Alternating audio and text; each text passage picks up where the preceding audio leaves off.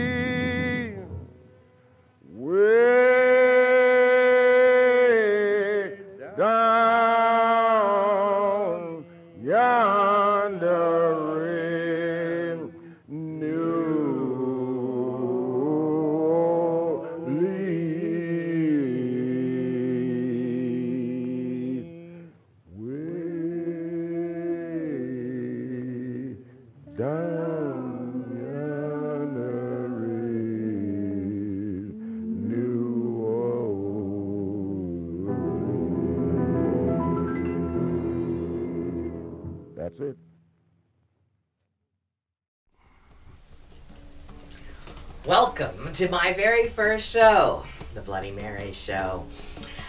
Enter the spirit realm. Today we have a very special guest. She's an author, she's a storyteller, she's a medium, and a ghost hunter. She's a native New Orleanian whose family's been here for over 10 generations.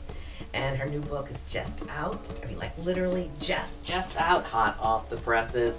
We've got Bloody Mary's Guide to Hauntings, Horrors, and Dancing with Death. True Stories from the Voodoo Queen of New Orleans by Bloody Mary. So, on that note, we are going to welcome to the spirit realm none other than Bloody Mary herself. Welcome. Come on in.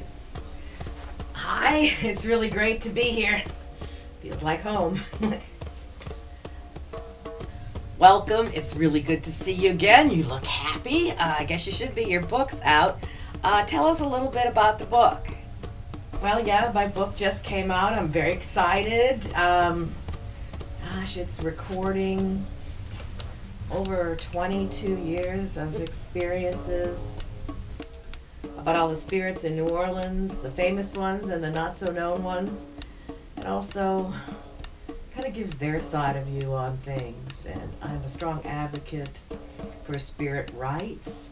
So I'm glad that this book is being published now. Took me a long time. I learned a lot from them, and the book itself is haunted. So a few people say, you read it, see what pops up.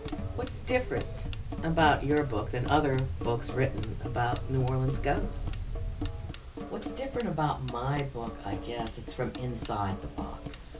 You know, it's also taking the side of the spirits, a, side that is sometimes just forgotten. With all the TV shows and popularity around paranormal activity today, um, it seems that everyone wants to focus just on the dark and on how they can control spirits or put them under a microscope and experiment them and look at them as evidence. I try to put the humanness back in paranormal investigation, and that is the way that this book is written, as well as personal experiences and some helpful hints on what to do and what not to do, what I've learned directly from the spirits. Now, did you know your house was haunted before? Because I know later you found out that other people in the neighborhood told you stories about the house you moved into. But did you know all of that before you moved in? I wrote about that in the book. Mm, you never know when it's going to be a hot cycle or a quiet cycle. You know, it's not haunted every minute of the day. And yes, I knew it was haunted before I moved here. In fact, it was the spirits that called me here. I didn't know how haunted it was till after I moved here. And uh, more spirits popped up as time went on. But yes, my house is haunted. So many of the spirits in New Orleans are famous. They were famous in life and they were famous in their afterlife. Do you only talk about those or are there other spirits you talk about too? Who's in the book? Who's who? Oh, sure, I write about all the big ones. Sure, there's Marie Laveau, there's the Voodoo Queen, there's Jean Lafitte, the swashbuckling pirate, or privateer as he preferred to be called. There is Madame LaLaurie, our infamous torture, and I called her a vampira too, for there definitely were bloodbaths of one form or another on Royal Street back in 1832. Uh, there are my favorites in there, like Julie, the Octoroon mistress, and the stray children spirits that I sometimes call my foster children. There's animal spirits, uh, there's personal family spirits, which teach you lessons, and much, much more in, in the book. And you've been a ghost hunter, a spiritualist, and a medium for a very, very long time, since your teenage years in town here. Uh, you're related to a lot of the ghosts, it seems, since your family bloodline's been here for so long. Uh, paranormal investigation has changed quite a lot, and I think you deal with it in this book from like a psychic investigator angle, or how do you deal with it in the book different than the way people used to looking at it at TV now? My whole life is a ghost investigation. It's kind of like my whole life is spiritual. I'm a priestess. There's no separation between the sacred and the mundane or the normal and the paranormal, in my opinion. Uh, share the many worlds that do surround with the spirit world. You know, uh, it's all part of one. So I do do kind of official ghost investigations in my house with other people that are interested that I'm trying to teach and help connect. But uh, I believe that everything is kind of, if you want to use the word investigation or an adventure, because we are we are not alone. Wherever you are, we are not alone. This is a very different kind of ghost book about New Orleans. So many people, especially people from outside the box, who've come to New Orleans and think it's cool, have written books. Very few people from inside the box, which actually deal with the spirits every day. I like to say one of the differences is I don't believe in one night stands. I believe in long term relationships with the spirits. Not just 24 hours, we go do a ghost hunt. Oh, no, I didn't get anything and go. No. I have long term relationships which reveal the intricacies of the personalities of the spirits. Give me time to help understand their needs as well as they to understand me. So the difference is in the detail, I suppose you might say, and the book is definitely detailed. So we have other segments of this show I'd like to invite you on, like maybe on a ghost hunt. I know you do that. Your own house, this house, is haunted, and we go on location to many different ones on all the upcoming shows. I'd like to invite you along and everyone else out there to enter the spirit realm directly. Thank you for inviting me to the spirit realm, Bloody Mary, and uh, congratulations on the Bloody Mary show. I her, you're going to be interviewing authors from all over and traveling. And you're going to have not only the interview section, but go on location in different places to contact with spirits or different people who are experts in their field on the occult or unusual paranormal aspects of their city or area. But I also want to invite you to the Kitchen Witch section or the Swamp Magic Moments. There's a lot of things that uh, you should come to on my variety show. Oh, oh, the kitchen witch part. That sounds like fun.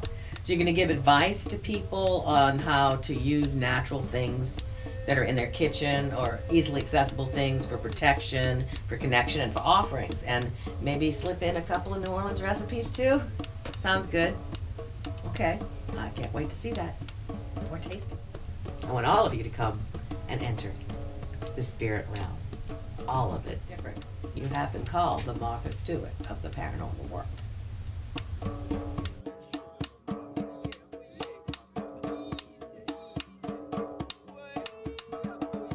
Well, come with me and we shall leave the spirit realm and go on to a spirit adventure. Paranormal awaits with Bloody Mary as we leave my home in Mid City. A quiet neighborhood in New Orleans. We drive through it, but just a few blocks away is the cemetery district. Fifteen graveyards lay in a small, short area. This is a crossroads of the dead. As we drive by, you see across the way Greenwood Cemetery. Greenwood Cemetery, it looks like there's been a breach. A breach in the gate happens far too often, unfortunately. It is as if the cemetery disappears some evenings and people just drive right through the gate as if it is not even there. This seems to be a spiritual occurrence occasionally, for when I come and bless the area, cleanse it, pray the spirits are at peace. It is then the next area a few feet down, a few feet down. It happens less often than it did right after Katrina, which was an uncanny amount of times, but unfortunately it still does occur. There are many spirits in this area, for the whole area is haunted, not just the graveyard itself. It is people that walked by in the past and walked their pets, people that visited cemeteries in the past, people that jogged by, um, and of course some of the dead that are buried within. There's the Elk Lodge guarding the edge. The 11th hour marks an esoteric symbol of the clock watching the area.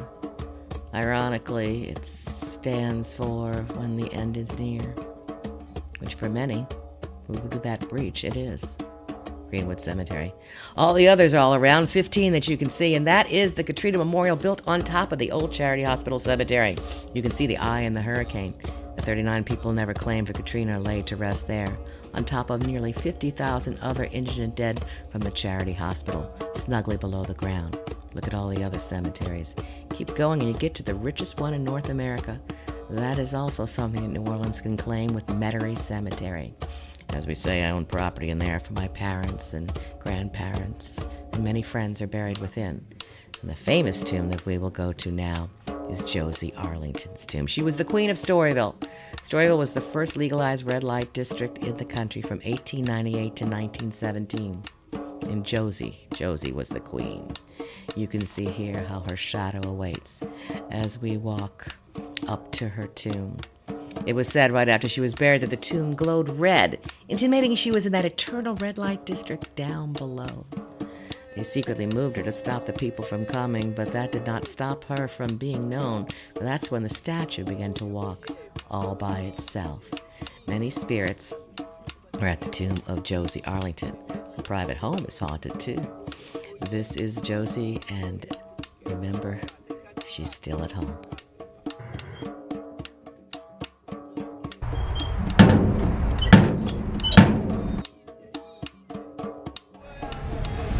We're at Lafitte's Blacksmith Shop Bar, the oldest bar in the country, one of the three oldest buildings in New Orleans.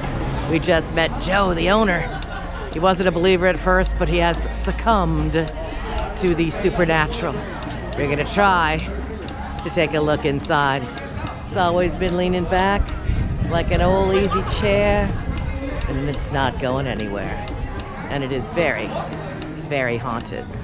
Let's try to go in through the back but haunted in a good way. I call this the ghost watering hole. See if we can, it's very dark inside. Chimney.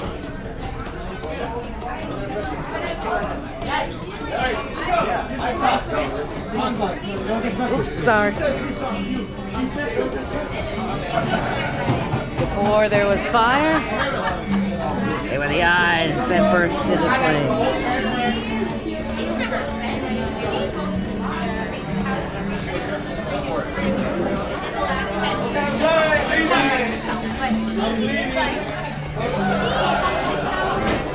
The piano bar, even the ladies' room, is haunted.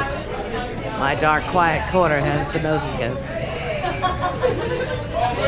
Though you can't see today. Courtyard.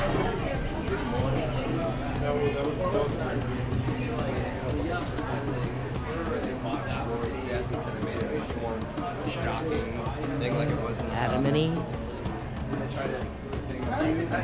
He's a control freak. And like, and then Sarah in a good way. Everyone comes here to pose to read Lafitte's Blacksmith Shop Bar.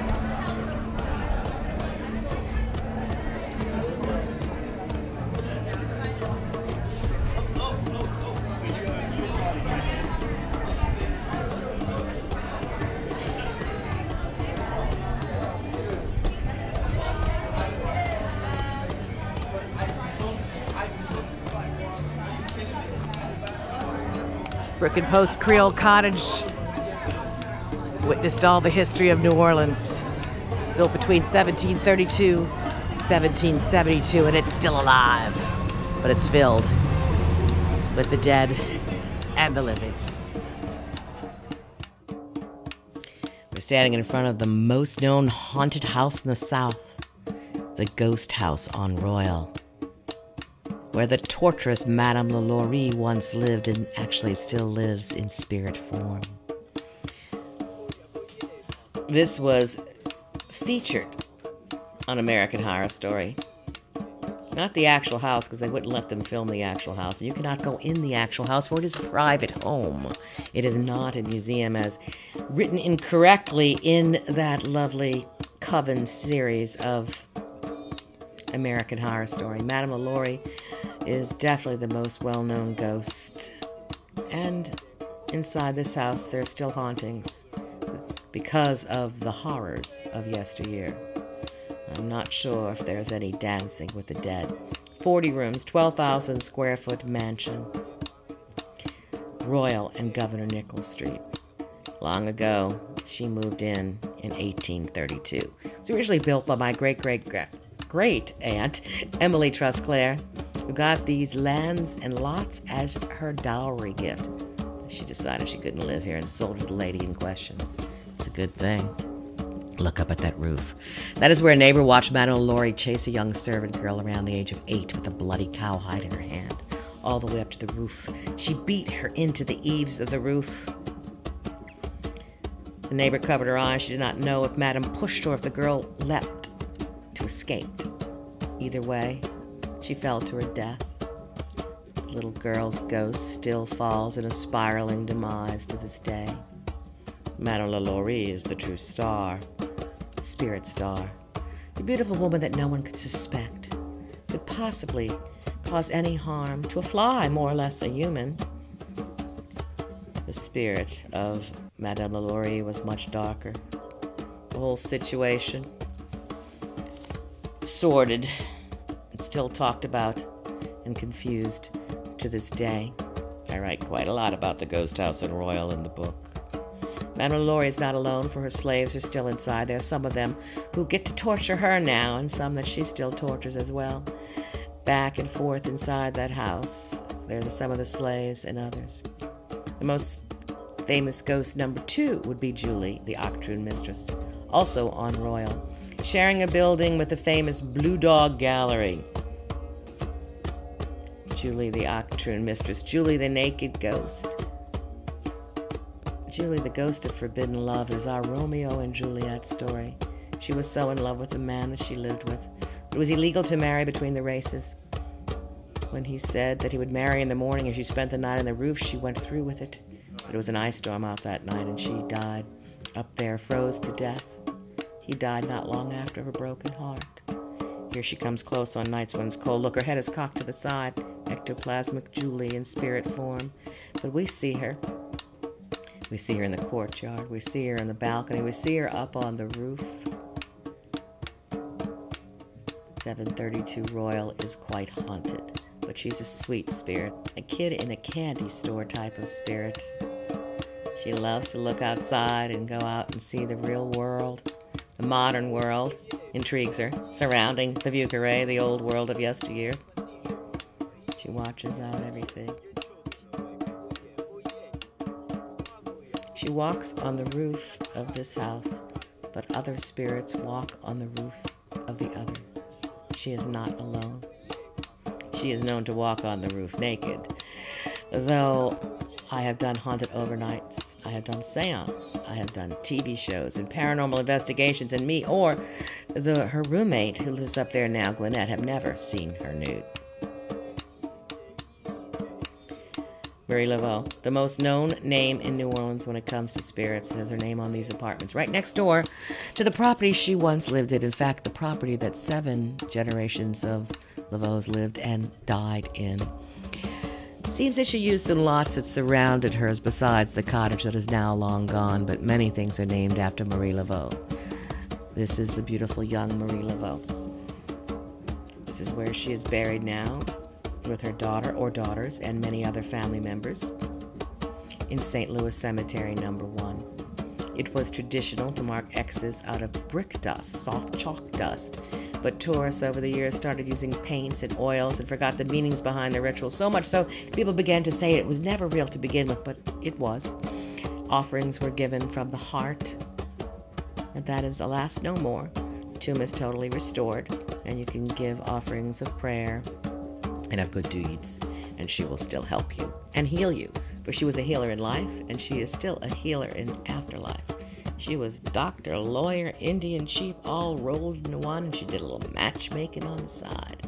She was said to have a bit to do with that Julie story, by the way. Some say she was the only mistake that Marie Laveau ever did, but it wasn't a mistake. If Julie went to her for a love ritual, uh, she wanted the man for eternity. And I'm sure she got him. Are they still seen together, sometimes an embrace on top of that roof? It was for eternity, but not the way she had in mind.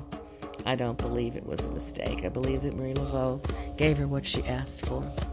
Marie Laveau did not have a connection that anyone knows of to Madame Lalaurie, but that was written in that American Horror Story. People weren't too happy, both Marie Laveau or the other, about that show.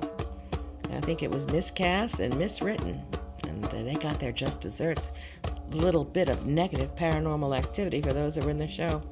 Alas, don't lie about the spirits. They don't understand the word fiction.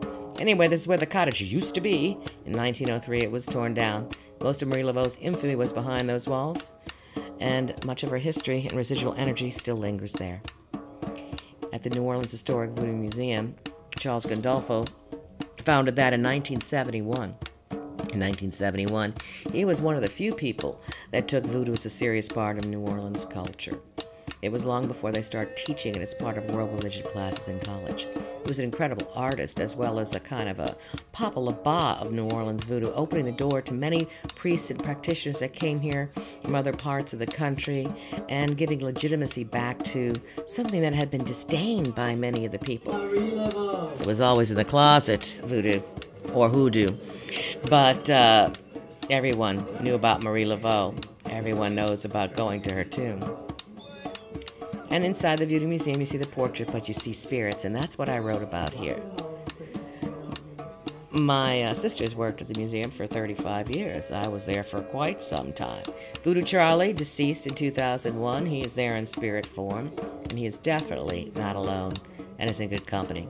Laveau pops in here every once in a while for a, you know, celebrity visit, but the resident spirits are the ghost cat, Le Chat Noir, the black cat that wanders around. It is not the only animal spirit, for there's also there's also Le Grand Crocodile. See the gator man in the back? He perks up every once in a while and has something to say. As we go back, you'll see the artifacts, and some of these artifacts have living residual energy that wakes up, especially when they're fed or sung to, or certain stories are told around them. I've had artifacts jump off the wall at me, and they didn't fall down, they jumped long ago, depending on who I was touring there with. Now, you, the snake cage is back in the there behind the carts. Since uh, the recent docent of the snakes have died, Mr. John or Dr. John, there are no physical snakes in the museum anymore, but the ghosts of the snakes were there for a very long time, and they will be there now. Inside the cage, their spirit lingers, and in the courtyard, too. There's Rose, Queen, and of the past, and of Mami Wata. Amami Isa. My favorite voodoo king on that picture there, that would be Dr. Jim. Dr. Jim Alexander. King Alexander. Many artifacts, many altars, all with objects that are imbued with power of those that use the objects and the spirits that were called upon. Oh, look there. See that cement? That used to be a door, and that was a entrance into the slave quarters area. This slave quarters area to the right would be where I had most of my encounters. The bed that I had was right on the other side of that old entranceway, and that's where the little boy who died of yellow fever popped up in my arms. There's also where the Peeping Tom spirit is, and a few others. A nasty haint that drained some energy of people and almost took them down. had to be banished from that room. And there's El Gato. Oh, the corner, that's where the ghost snake was. It showed me where the spell was hid that tried to close the museum. Ghost snakes everywhere. I gotta go home. Huh. We're gonna do a ritual to salute everyone in every chapter in the book, all the spirits. So why don't you come join us for that part? And definitely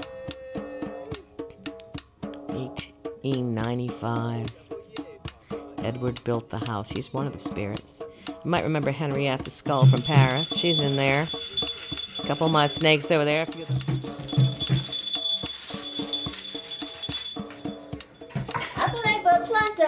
Photo, plante poto Plante poto, plante poto plante poto, plante poto We also have uh, a friend that popped up today, George, and a friend's mother who died today. We asked her to be blessed going her way, but she is welcome to come in and say hello. Any other spirits that are with our friends that are here today that have something to say? This is the time we're going to connect with you. We're going to connect with you through writing, through sound, through visuals, through application, whatever. So we invite you all in today. Anyone that's in the book, all those spirits who have come here before, come in and tell us. Your, no, but this is how we get a message. So for those that like the old ways, this would be it. We'll do automatic writing, and then later we'll all convene to do some electronic stuff if you so choose. So, again, to the spirits of the house and the spirits that walk with you we ask them to come and join us in this session too. So, blessings. We shall be back. Keep on coming. Say Speedy. Say expedite. We're going on an expedition tonight.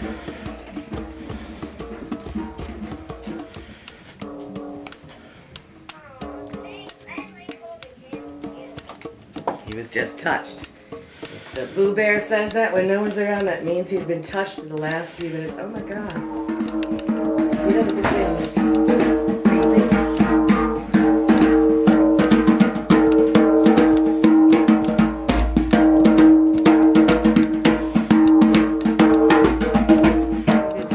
Ritual area. We call the spirits the nature spirits that do surround and protect us. We call you to come into the house too. The communication either through electronic devices, automatic writing, direct voice phenomena, or what some people call disembodied voices. We ask for physical, spiritual, and um, electronic connection. It's all good. We got names and history. Edward built the building here. So let's know. Eileen, Eileen, are you here? I know y'all aren't used to working with this kind of electronic device. Um, if you would prefer us to use another method, tell us through there.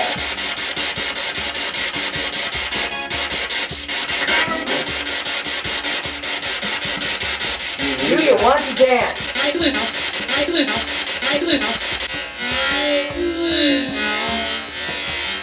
Right now? Then yes, you want to, us to dance right now. I heard those words. Here, spin me once so we can dance with the dead. What names are coming through this audio right They here? said they wanted us to dance right now. That might be my mother. I don't know. Ah, I just know we had left the room. And I thought that.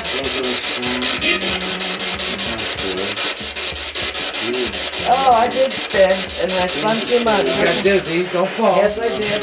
That's okay. That looks like he's drunk. I got Yeah, we're spinning here. Tickler, you got tickled over here.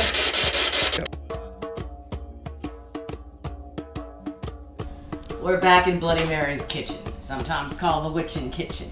You have so many things at your disposal that you cook with every day that are there for your spiritual good, and you may wonder why we need protection. Well, we walk in stuff all the time. Uh, you don't have to be a paranormal investigator, a witch, or a voodoo queen in order to step in shit. It's out there everywhere. So yeah, you do need your protections. Do not underestimate what they call old wives' tales, because they knew what the hell to do.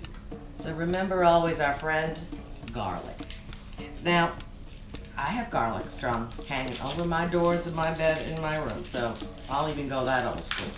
But cook with it and carry it in a pouch. Garlic has something called allicin in it. It kind of cleans and clears the blood, so it's very physically healthy for you, but it's spiritually healthy as well. Wards off demons, monsters, vampires, you know, ex-husband, whatever, whatever you have to get rid of. So use the garlic, cook with the garlic. When you cook with the garlic, talk to it, tell it to remove all the stuff internally and externally that's not serving your highest good. Always pray over, visualize, and release the energy of all the herbs. All the herbs have a physical and spiritual reason. And I got my uh, my favorite thing. So you smash garlic. Ah. And just as you do with onions, you save the peelings. Onions and garlic, when you burn them, burn them in the oven stove. Think that's for prosperity. You want to bring a little money home and have, keep a little protection around you and nothing like, mmm, smelling that crushed garlic. And then you burn these onion peelings, garlic peelings, prosperity. A present, huh? The present. I haven't seen it yet. Ugh. This is the good. What is this? I don't know. Open it up, Mary. Don't struggle. I was told. Don't let it beat you. What the? Hey, Don't shadow into my into my goatees. Go away. Oh, I gotta stick my hand in this. This is being brave. Oh, wait, it's in plastic. Eh, what is that? There's a gift, and it's fresh, and it's still alive. Crab? No, it's a gator hand Oh, shh! Look at that. from Lafitte, man. It's still soft. We can cook it.